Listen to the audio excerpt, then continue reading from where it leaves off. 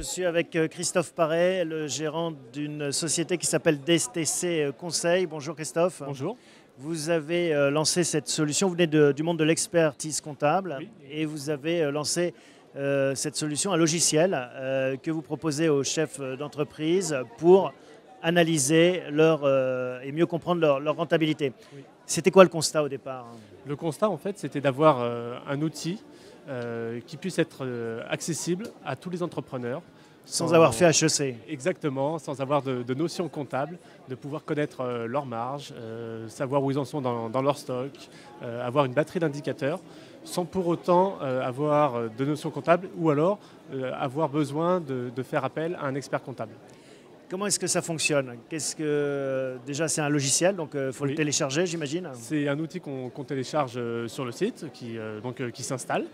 C'est un abonnement ou il faut le Euh, lâcher en une c'est- fois alors, euh, c'est en une fois et ensuite le renouvellement, euh, il y a un tarif euh, préférentiel pour le renouvellement de, de la licence. D'accord, donc bon, ça s'adresse à un public plutôt de, de chefs de petites entreprises, hein, de TPE. Exactement. La cible, c'est les, les TPE de 0 à 10 salariés au maximum et c'est c'est chaque, chaque dirigeant ou porteur de projet qui voudrait euh, justement connaître un petit peu euh, dans leur prévisionnel euh, un compte de résultat, D'accord, donc j'ai téléchargé ce logiciel. Qu'est-ce que je fais ensuite Alors ensuite, la première étape, c'est de définir son activité par axe analytique. C'est-à-dire qu'on a la possibilité, pour, pour l'analyse ensuite, de dire, bah voilà, moi mon activité, je veux la connaître par métier, par client, par zone géographique. En fait, ça, euh, cette- cet axe analytique est, est possible et, personnalisé à chaque entrepreneur.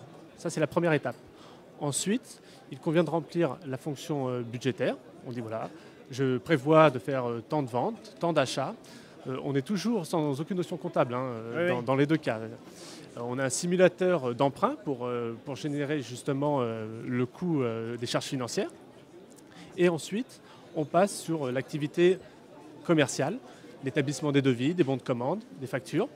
Euh, on a mis en place une batterie d'indicateurs euh, pour justement connaître les devis qui sont transformés euh, en factures ou pas. Parce que Ça permet de voir justement le rythme euh, auquel je convertis des prospects en clients Exactement, exactement. Ça, c'est une notion importante, hein, on le rappelle peut-être. Oui, c'est une notion très importante parce que l'idée c'était de dire qu'on peut faire 50 devis, si derrière on en transforme qu'un ou deux, euh, voilà, c'est qu'il y a certainement un problème de positionnement, alors soit de, soit de prix, il y a un problème quelque part, et comme ça l'entrepreneur le voit directement.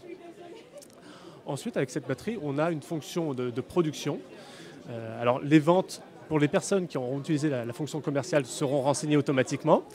Et, et ensuite, pour tous les achats, on ne parle pas de, de comptable, mais on parle d'achat par nature. C'est-à-dire j'achète des marchandises, des matières premières. Euh, pour mes charges externes, mon loyer, on ne parle pas de, de compte comptable, mais on parle de, de loyer, de téléphone et ainsi de suite. Et on ajoute les salaires. Et on ajoute les salaires de la même façon. Euh, un salaire brut, Les montant de ses charges.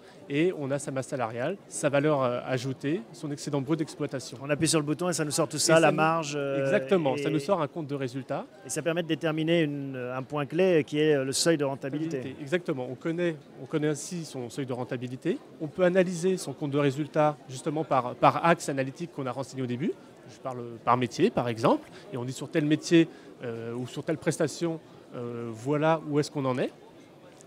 On a un ensemble, on peut comparer euh, le compte de résultat réel avec le budget qu'on avait initialement rentré pour savoir où est-ce qu'on a pêché, est-ce qu'on a plus de charges, de, On n'est pas obligé d'embaucher un DAF, c'est ça que vous dites On n'est pas obligé d'embaucher un DAF, voilà. Pilogest, c'est un outil de gestion qui est, c'est le contrôle de gestion dédié au TPE. Ça existe déjà, il y a déjà des outils logiciels, des solutions euh, Alors, qui le- sont le- proposées. Alors le concept innovant, oui, parce qu'il y, a il y a un ensemble euh, d'outils qui, euh, qui existent sur le quoi, en marché. quoi vous vous distinguez alors? Alors la grande distinction, c'est qu'on n'a pas besoin de notions comptables. C'est vraiment ça le, c'est vraiment le, le- le concept innovant du, du produit. C'est-à-dire qu'on peut rentrer sans avoir aucune, euh, aucune connaissance Et comptable. alors comment vous avez fait pour le développer? Vous l'avez testé, j'imagine, auprès de, de Alors, néophytes euh, auprès justement, de, en matière de comptabilité? justement de, petits entrepreneurs, de, gens qui étaient dans des structures qui sont entre euh, 0 et 10 salariés, par exemple, euh, pour leur demander leur, leur ressenti, euh, est-ce qu'ils comprenaient, euh, et ainsi de suite.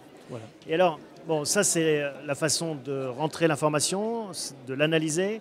Et après, les leçons qu'il faut en tirer. Euh, qu'est-ce que j'en fais une fois que je sais que bah, je suis en dessous de mon seuil de rentabilité ou que j'ai un problème euh, quelque part? Là, c'est la partie où on intervient en, accompagnement. On peut, nous, à partir justement des données qui sont sorties, euh, mettre en place une campagne sur une campagne promotionnelle, sur du coût marginal, sur un produit, euh, voilà, on accompagne derrière. Donc il y a une dimension service après. Ça, il y a une dimension service. Ça marche comment Avec une hotline ou par internet euh, Alors, euh, vous déplacez on, se déplace. alors, on se déplace généralement en région parisienne. Après, ça peut être en contact par, par mail, en, prenant connaissance de l'activité de, de l'entrepreneur. Parce que à ce niveau-là, chaque entrepreneur a a vraiment une activité particulière, il a, besoin d'avoir un service personnalisé. Quoi. Et c'est ça la difficulté, j'imagine, de votre logiciel, c'est d'avoir réussi à centraliser euh, bah, des métiers très disparates. Exactement. Et à euh, les rendre accessibles euh, simplement. À, tout le monde. Par exemple, je, vais prendre un exemple, le, cas des ventes. À la fois, on peut rentrer des factures pour des gens qui établissent des, factures sur des prestations, sur la vente de marchandises, mais à la fois, on cible également des commerçants qui, eux, ne vont pas émettre une facture à chaque vente d'une baguette, par exemple, mais qui vont rentrer des recettes. Et donc là, dans cette fonction-là, ils choisissent de rentrer leurs recettes plutôt qu'une facture euh, détaillée. Donc ça s'adapte quand même. Euh, L'outil s'adapte un, petit peu en fonction des, métiers et de la cible. Et la partie service alors, pour revenir à cette, et cette la partie service arrive en accompagnement derrière. Donc on a des formules différentes sur euh, trois mois, sur six mois, ou sur euh, des points précis en nous disant voilà, euh, aujourd'hui on, a un problème sur la gestion de notre stock, on n'y arrive pas, qu'est-ce qu'on peut faire Et nous, c'est là où vous bien, on se déplace, on regarde et on trouve une solution.